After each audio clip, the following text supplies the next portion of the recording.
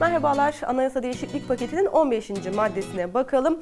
Bu maddeyle beraber meclis artık bütçe yapamayacak. Değişikliğe göre meclis bütçeyi de değiştiremeyecek. Hatta süresinde onaylanıp yürürlüğe konulmazsa geçici bütçe kanunu çıkartılacak. Hatta o da olmazsa eski bütçe yeni rakamlarla yürürlüğe konacak. Yani Cumhurbaşkanının meclise sunduğu bütçe illaki uygulanacak.